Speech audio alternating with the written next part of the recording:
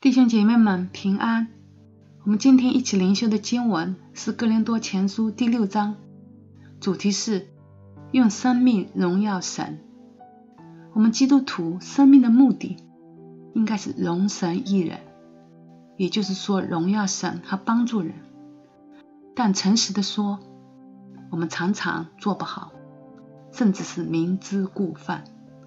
正如当时的哥林多教会的会众，哥林多教会很富有，也有许多的属灵恩赐，但他们出了许多问题，以至于保罗不得不写信责备他们，劝解他们，希望他们能用生命来荣耀神。在哥林多前书第六章，保罗用六个且不知来指出他们的问题。指明他们不应该怎么样，而应该怎么样。让我们一起来学习，也可以成为我们的警戒。保罗指出的他们的第一个错误是互相赠送，甚至赠送到不信主的人面前求审判。你们中间有彼此相争的事，只敢在不义的人面前求审，不在圣徒面前求审呢？相争。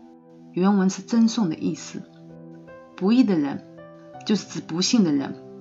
我们因信称义，未信耶稣的人是不义的人。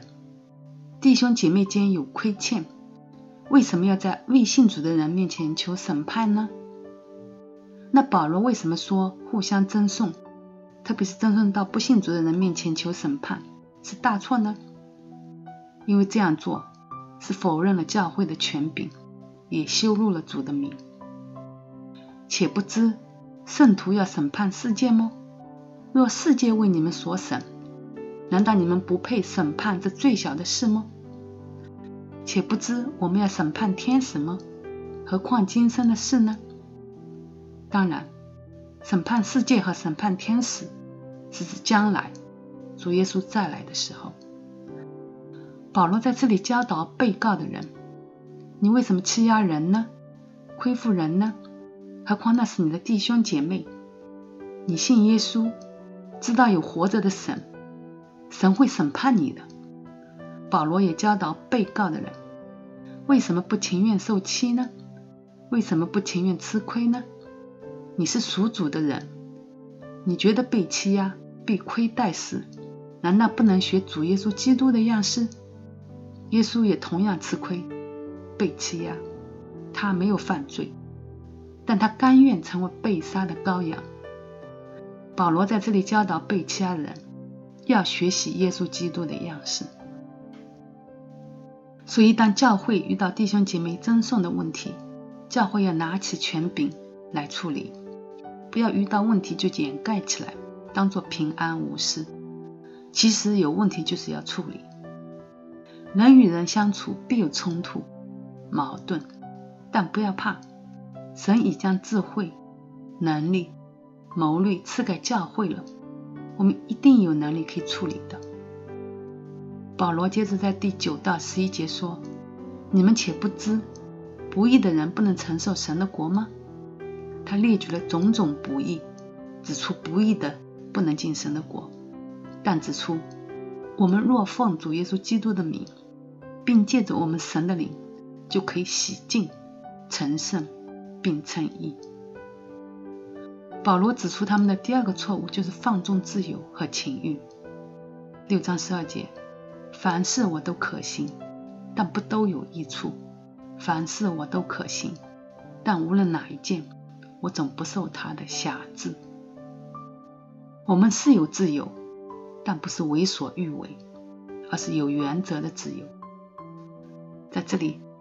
保罗提到了两个原则，第一个原则是是否有益，对自己、对别人、对家人、对教会、对神的国度、对荣耀神是否有益，没有益处的就不做。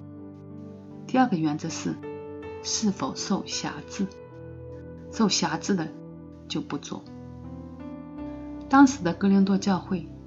受希腊文化哲学思想的二元论影响，认为人的身体跟灵魂是分开的，灵魂得救就够了，身体可以随便乱来，比如乱吃，比如淫乱，更是认为身体是自己的，只要高兴，随便怎么样都可以。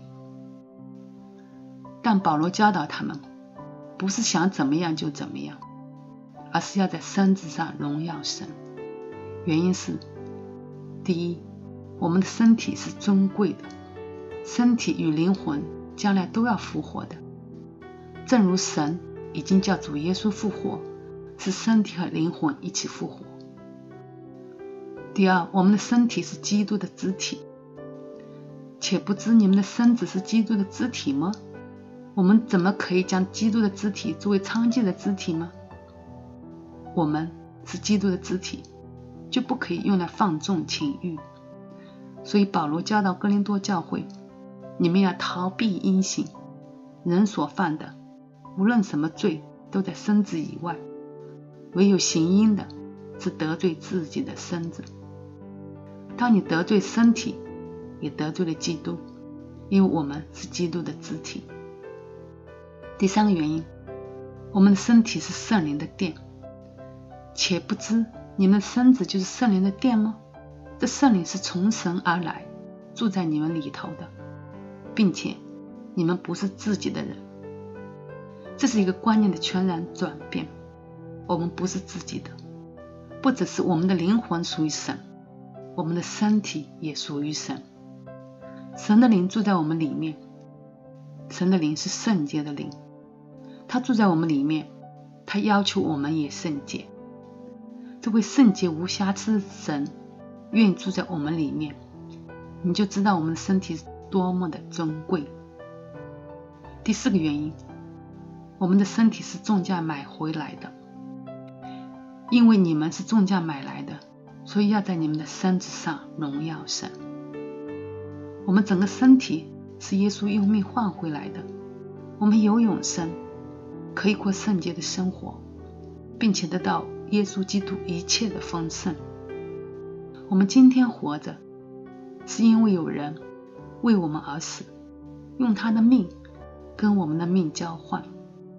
我们应该好好为主活着，圣洁的活着，大有能力的活着，荣耀的活着。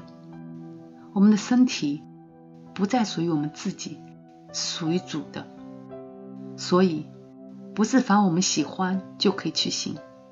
做每件事之前，说每句话之前，看什么，想什么，都要问自己这样两个问题：第一个是与我们自己与别人有益处吗？是荣耀神的吗？第二个问题是：我们有被他辖制吗？我们一起来祷告。亲爱的主耶稣，感谢你用自己的命救赎了我们。我们的生命是属于你的，求圣灵保守我们的心，帮助我们爱惜自己的身体，只用身体做有益于自己和别人的事，做荣耀神的事，并且不受任何东西的辖制，帮助我们用生命来荣耀神。感谢主，求你祝福你的教会，祝福你的儿女们。祷告，感谢奉主耶稣基督的圣名，阿门。